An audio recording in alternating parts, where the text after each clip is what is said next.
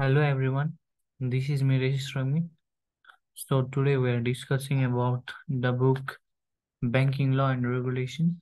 This this is especially for those students who have chosen the banking faculty as a major course from the fifth semester, and mainly this subject is being being studied on fifth semester, sixth semester, and as well as seven seventh semester too so today we are going to discuss about this our first unit that is introduction introduction uh, to the bank and financial institution.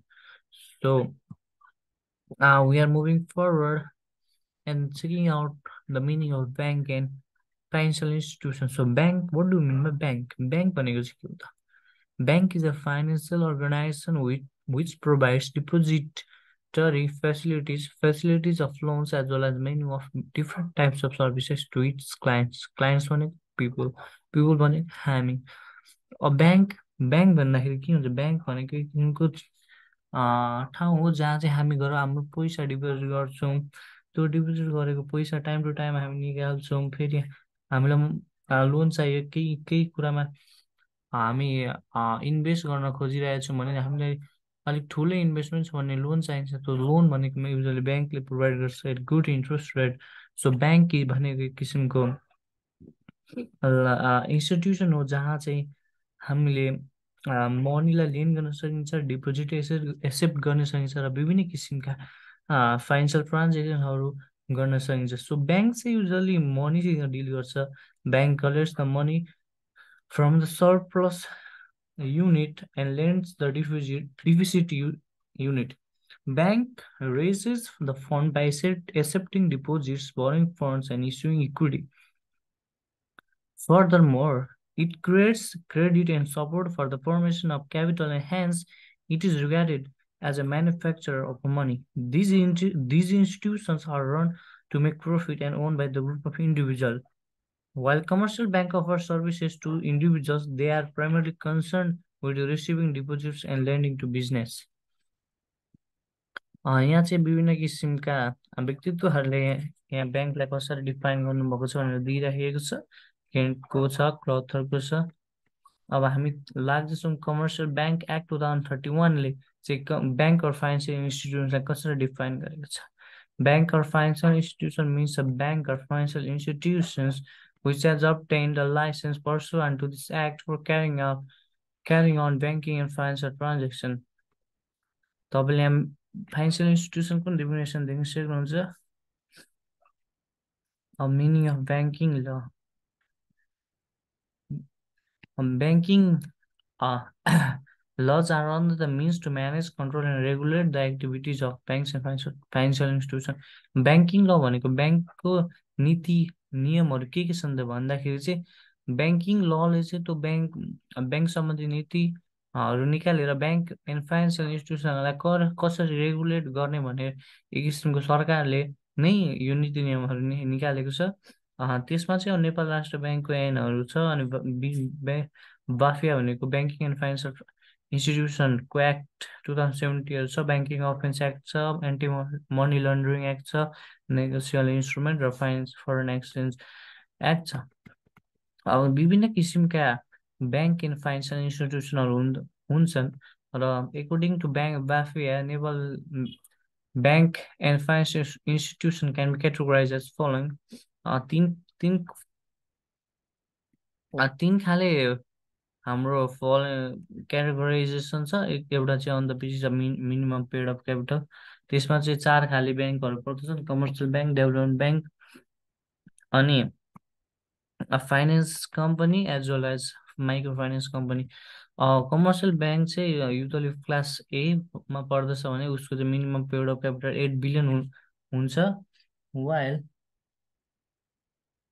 Development bank चाहिँ class बीमा पर्दछ भने उसको national level national level paid of capital चाहिँ उसको two point five million two sorry two point five billion हुन्छ भने while for covering forty ten districts it requires one point two billion so as well as for covering 1.3 districts is 500 million. So banks will meet these requirements at the end of the fiscal year these um, uh, the function of commercial banks are given in the WAF year 2073. The functions of development are almost similar to the commercial banks but subject to limitation.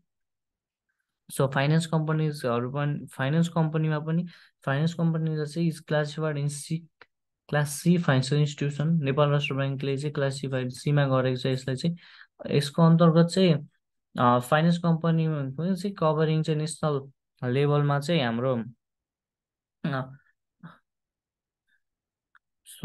Class covering चाहिँ hundred million रहेको छ र सरी eight hundred million रहेको छ।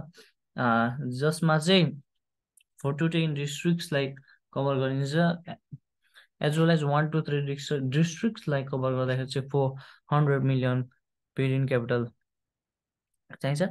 While micro finance कम्पनीलाई चाहिँ हाम्रो क्लास डीमा क्याटेगराइज गरेको छ नेपाल राष्ट्र ब्याङ्कले जसमा चाहिँ national level micro finance needs capital of one hundred million The microfinance company covering 4 to 10 districts need capital of rupees 600 million while covering 1 to 3 district need capital of 20 million. Microfinance companies should meet these requirements at the end of the fiscal year. So, तपाईँलाई चाहिँ यो क्वेसनमा चाहिँ usually यो त कुन क्लासमा पढ्दैछन् र यिनीहरूले कति पेड अफ क्यापिटल रिक्वायरमेन्ट गर्छन् त भन्ने कुरा चाहिँ बेसिकली जान्नु महत्त्वपूर्ण छ र अर्को टपिकमा आइरहेको छु हाम्रो on the basis of ownership अघि चाहिँ हाम्रो on the basis of minimum paid of capital थियो अब on the basis of ownership on the basis basis of ओनरसिपमा चाहिँ मेनली तपाईँको तिनवटा रहेको छ हाम्रो प्राइभेट सरी दुईवटा मात्र रहेको छ public bank and private bank अनि on the basis of service प्रोभाइडेडमा चाहिँ हाम्रो central bank commercial bank development bank Development Bank, Cooperative Bank, Community Development Bank, Saving Bank, uh, Exchange Bank, Merchant Bank, and Industrial Bank रहेको छ अनि अब commercial bank भनेको चाहिँ के हो भन्दाखेरि commercial bank is a type of bank type of financial institution that is commercial bank is a financial institution that accepts the deposit offering checking and saving account services and makes loan commercial bank चाहिँ usually दो कुन जुन bank हो जस जुन जुन ब्याङ्कहरूमा हामीले मेनली खाताहरू खोलिरहेको हुन्छौँ जस्तै एनआइसिसिए ब्याङ्क सिद्धार्थ ब्याङ्क यिनीहरू चाहिँ कमर्सियल ब्याङ्कहरू भयो हामीलाई बुझ्न निकै सजिलो छ र अब त हामी लाग्दछौँ डेभलपमेन्ट ब्याङ्क भनेको development bank are those bank that are engage in the promotion and development of the industry agriculture and other कि सेक्टर्स डेभलपमेन्ट ब्याङ्क भनेको चाहिँ विकासका कार्यहरूमा संलग्न हुन्छ जसमा चाहिँ यसले इन्डस्ट्री एग्रिकल्चरहरू अनि अरू विभिन्न किसिमका सेक्टरहरूमा चाहिँ यसले लङ टर्म लोन प्रोभाइड गर्छ as well as technical and other devices पनि प्रो प्रोभाइड गर्छ। यो चाहिँ युजली ओरिजिन चाहिँ यसको चाहिँ back to agriculture and industrial revolution UK युकेमा भएको छ। यसको यसको चाहिँ कमर्सियल ब्याङ्कसँग कस्तो डिफ्रेन्स हुँदा चाहिँ यसले चाहिँ मान्छेबाट त सेभिङहरू लिँदैन but it invest the resources in the productive sector this bank provide all the development services so as to accelerate the growth of the economy यहाँ चाहिँ तपाईँले हाम्रो डिफ्रेन्स बिट्विन देख्न सक्नुहुन्छ। कमर्सियल ब्याङ्क र डेभलपमेन्ट ब्याङ्क थोरै हामीले यहाँ डिफ्रेन्सहरू लेखेको छौँ। सो तपाईँले यहाँ हेर्दा तपाईँले बुझिहाल्नुहुन्छ सिम्पली छ। अब्जेक्टिभ भनेको चाहिँ के हो objective of commercial bank is to promote trade and commerce in industry while the main objective of Diamond Bank is to promote agriculture industry and rural rural areas अनि नेचर चाहिँ के हुन्छ? तपाईँले यहाँ देख्नुहुन्छ लोन प्रोभिजन कस्तो छ? यसले सर्ट टर्म दिन्छ भने उसले medium and long term exchange गर्न मिल्छ कि मिल्दैन? कमर्सियल ब्याङ्कमा चाहिँ फरेन करेन्सीहरू एक्सचेन्ज गर्न मिल्छ वाइल्ड डेभलप ब्याङ्कमा मिल्दैन। अब ब्याङ्किङ इन्स्टिट्युसन र ब्याङ्किङ इन्स्टिट्युसन कसरी नेपालमा? इभल्भ भएको थियो भन्ने कुरा अब हामी गर्न गइरहेको छौँ so evolution of banking institution financial banking institution and banking law in Nepal so पहिलो फेजमा चाहिँ हाम्रो यहाँ तिन खाले फेज दिइरहेछ पहिलो फेजमा चाहिँ हाम्रो सुरुमा चाहिँ तेजरथ अड्डा इस्टाब्लिस भएको थियो थियो प्राइम मिनिस्टर रणदीप सिंहको पालामा नाइन्टिन थर्टी थ्री बिएसमा यसले चाहिँ फर्स्ट स्टेप लिएको थियो towards the development of banking in Nepal it was fully subscribe by government यो पुरै सर सरकारको हातमा थियो र यसले चाहिँ लोनहरू प्रोभाइड गर्थ्यो। जेनरल पब्लिकलाई जो पाँच पर्सेन्ट इन्ट्रेस्ट लिएर यसमा चाहिँ यसले चाहिँ डिपोजिटहरू चाहिँ लिनबाट लिन सकेन मान्छेहरूको। सो अर्को फेजमा गयो फेज टूमा चाहिँ हाम्रो चन्द्र शमशेरको पालामा चाहिँ तेज अड्डालाई एक्सपान्ड गर्ने कुरा आयो र एक्सपान्ड गरिएको छ। विभिन्न ब्रान्चेसहरू खोलियो। ब्रान्चेसहरू खोलिएपछि लेटर तेजरथ अड्डालाई चाहिँ अब Nepal first commercial bank Nepal bank लिमिटेडले यसलाई ओगट्यो र अनि चाहिँ Nepal first ever bank that accept the deposit from the customers as as provide the interest भन्ने नेपाल ब्याङ्क लिमिटेड खुलियो nineteen forty four nineteen ninety four बेसमा अनि त्यस पछाडि नेपाल राष्ट्र ब्याङ्क खुल्यो दुई हजार तेह्रमा। त्यस पछाडि Nepal Nepal industrial development bank खुल्यो दुई हजार सोह्रमा त्यस पछाडि राष्ट्रिय वाणिज्य ब्याङ्क खुल्यो दुई हजार बाइसमा। अनि एग्रिकल्चर डेभलपमेन्ट ब्याङ्क खुल्यो दुई हजार चौबिसमा। र फेज थ्रीमा चाहिँ हाम्रो commercial bank act two thousand thirty one सरकारले ल्यायो जसमा जसमा चाहिँ ब्याङ्कहरू एउटा छातामा बस्नुपर्ने अवस्था आयो र टु थाउजन्ड फोर्टी वान बेसमा चाहिँ नेपाल गभर्मेन्टले five rural development banks under the control and supervision of Nepal Rastra bank स्थापना गर्यो। अनि त्यस पछाडि विभिन्न किसिमका ब्याङ्क विभिन्न किसिमका ब्याङ्कहरू खुलिरह खुले अहिले जम्मा जम्मै तपाईँको कमर्सियल ब्याङ्कहरू बिसवटा छन्। तपाईँले W W dot dot NRB dot ORG dot एनपीमा गएर ब्याङ्कहरू कतिवटा छन् भनेर हेर्न सक्नुहुन्छ as well as you have got many more information there so it will be quite fruitful for you यहाँ धेरै ब्याङ्कहरूको स्थापना र फाइनेन्सियल इन्स्टिट्युट कम्पनीको स्थापना स्थापनाको पनि यहाँ कुरा गरेको छु र बाफी एक्टको बारेमा पनि अब role of banking and financial issue institution हेडको बारेमा कुरा गरौँ।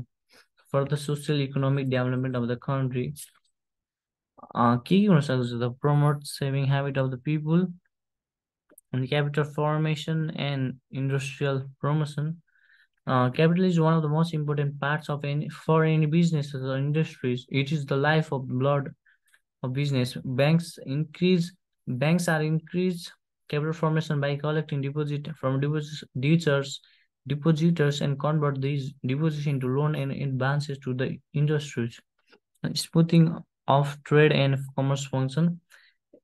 Bank स्थापनाले गर्दाखेरि ट्रेडहरू मजाले भइरहेछ करेन्सी एक्सचेन्ज गर्न कोही सकिराखेको छ र विभिन्न माध्यमबाट attractive services from the banks like mobile banking internet banking debit card credit कार्डले गर्दाखेरि चाहिँ स्मुथ ट्रान्जेक्सनहरू भइरहेको छ त्यसको so bank helps develop trade and commerce generate employment opportunities ब्याङ्कको स्थापनाले गर्दाखेरि र विभिन्न सेक्टरमा इन्भेस्टमेन्ट गर्दाखेरि ब्याङ्क्सहरूले धेरै मात्रामा इम्प्लोइमेन्ट अपर्च्युनिटी छ अरू क्रिएट भएको देख्न सकिन्छ अब एग्रिकल्चर डेभलपमेन्ट पनि भइरहेको छ नेपालमा with the help of banking sector as bank provides loan to an advances with low rate interest to the people who are interested in uh, agriculture sector. So applying monetary policy, monetary policy is important policy of the government. Monetary policy is to stabilize financial system of the country from the dangerous inflation, deflation, and crisis. So balanced development uh, ले गर्दाखेरि socio economic development भइरहेछ So modern banks spreads its operation throughout the world. We can see number of big banks like big banks, eh, sorry, big banks like City Bank, Standard Chartered Bank. It helps a country to spread banking activities in rural as well as semi-urban areas. With the spreading of banks, banking operation around the country helps to attain balanced development by promoting rural areas. So modern banking plays a vital role in socio-economic development of the country. A developed banking system enables the country to attain balanced development without any special consideration of rich and poor cities rural areas. Rural areas. So finally, हाम्रो first chapter यहीँ समाप्त भएको छ the end to us the first chapter of our banking and uh, banking law and regulations. So I hope you have understood a little bit, not much, I guess. Uh, this was just uh, for me an opportunity to grow and talk to you all. So I'm very much happy to share such content to you. And thank you for Mr.